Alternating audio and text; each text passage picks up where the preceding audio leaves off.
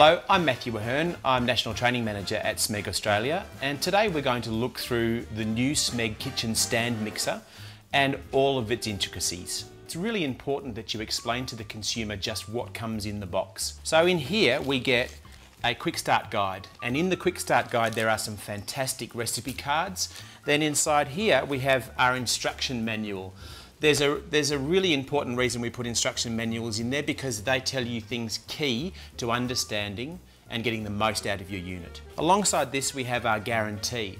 So the guarantee for this stand mixer is a three month replacement warranty. Simply take it back to the place of purchase and it will be replaced for you free of charge. The other part of the warranty extends for a full five years. So for five years the, the machine is covered by a service warranty.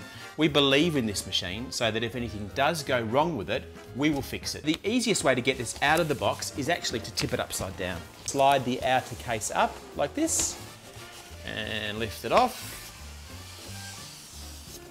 This houses all sorts of exciting bits. All right, I get excited about appliances, I don't know about you. In here we have our flat beater attachment. And then over here we have our hook, the moment of the big reveal. So we'll take this here off and they have letters on there so you know which way to pack them back up again. Right hand and of course left for the other one. Our stand mixer is inside its packaging. So let's take this out.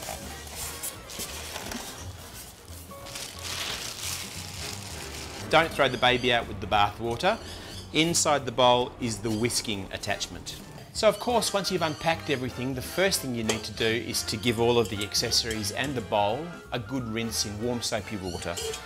The whisk attachment, the dough hook and the flat beater can all be washed by hand at any time and the bowl being stainless steel can go through the dishwasher. When it came to designing this machine, our team at SMEG collaborated with the team at Deep Design, headed up by Matteo Bazzicalupo. And what they've come up with is what we think is a beautiful machine. It is designed, of course, to hark back to the 1950s, but with a very modern twist. This machine is designed to be not only beautiful, but also ergonomic. This actually has its main controller on the top of the unit. You can see here that the bowl is stainless steel. This part here is die-cast aluminium.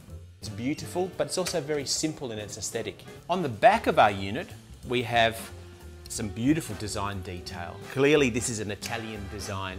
It has that beautiful finesse about it that we, that we love. This machine is heavy. It's got a good bit of weight into it. It means that it's going to be able to withstand the rigours of a busy kitchen. It's also going to be able to knead heavy dough. It's going to be able to whip lots and lots of egg whites. It's also going to be able to combine lots of ingredients because it's got a bit of guts behind it. It comes with a number of accessories and they do different sorts of things. The whisk can be used for whipping cream or incorporating light flour and those sorts of things, but you can actually use it for mashing vegetables, fluffing egg whites to make beautiful meringues and to make perfect baked goods.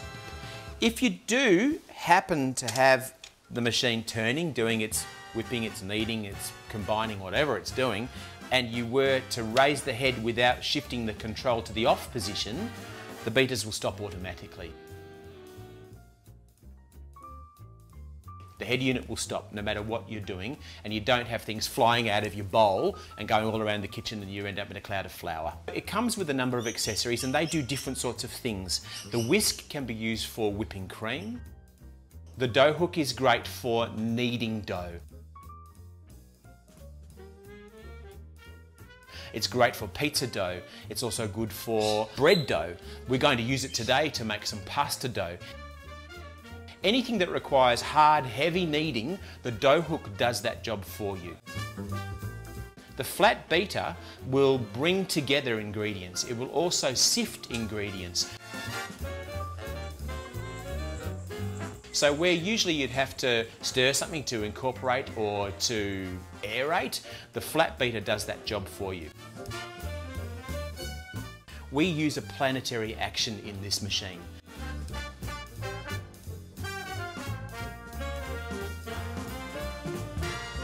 When the whisk moves around, it doesn't just spin on its own axis. It has this part here which spins around and then it spins around internally.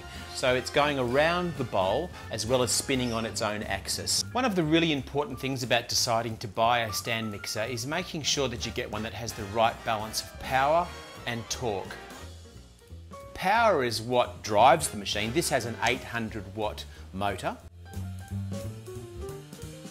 But importantly, torque has to be balanced with it. Torque is what actually gives it the grunt and the grind to be able to do the work. When we're using the controls on this machine, we have a soft start mechanism. When I go from zero to one, the machine starts up and it starts up slowly. I'll turn it off again. Now if I go from zero to flat out, it still starts up slowly and then builds right up to maximum power. We're going to make pasta dough now.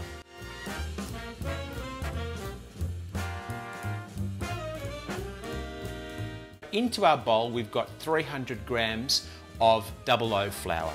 So then we're going to add three eggs. So we're going to use the flat beater attachment to combine all of these ingredients and then switch over to the dough hook. You can of course start with just the dough hook and use it from woe to go, but I like to use the flat beater. It goes all the way around to the edges of the bowl and brings everything in together. Pop it in and push it around. Nice and gentle, brings everything together. I'll then increase that speed from one to two. And Now we've actually finished the kneading part of making our pasta dough. So we're going to lift the head up and remove the dough and we can see that it's formed a beautiful dough on here. Then what we're going to do is we're going to take this all out and then just have a look at that. That dough is perfect.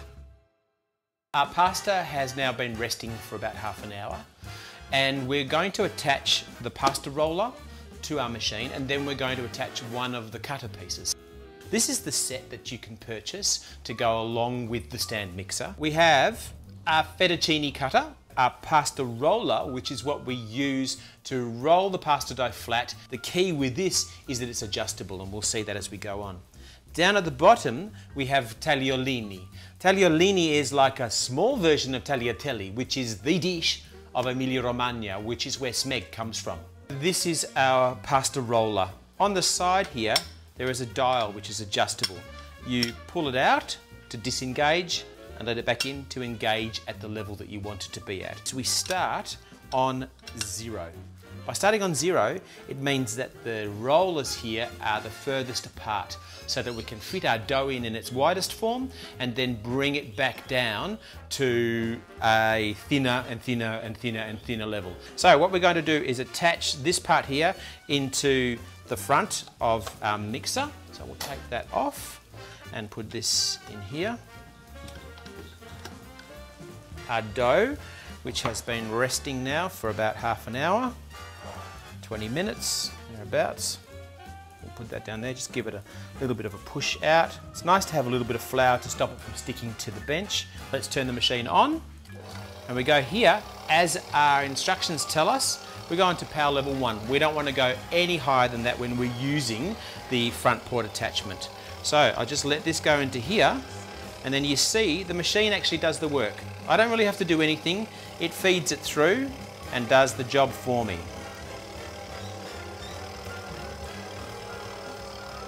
So now for our laminating process, what's really important is that we fold it over, fold it back over again, a little bit like making an envelope.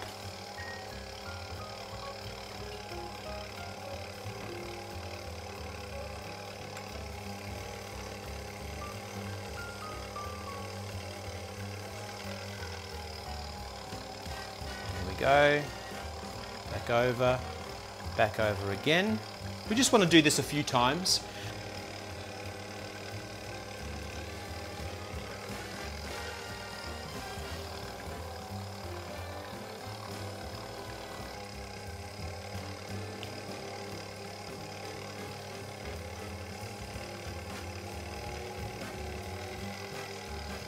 I'm going to adjust the dial here from level zero to level one. I don't have to turn the machine off when I do this. You can leave it running, it doesn't affect it. So now all I need to do is not laminate again, just allow this to roll through. The machine actually does the work, you don't really have to do anything.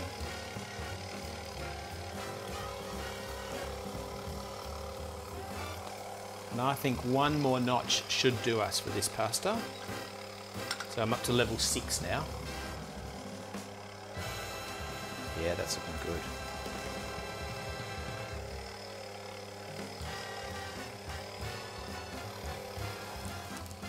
Now what I'm going to do is take this off and put on our fettuccine cutter.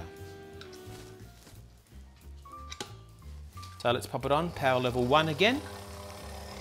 And then, this is the magic part.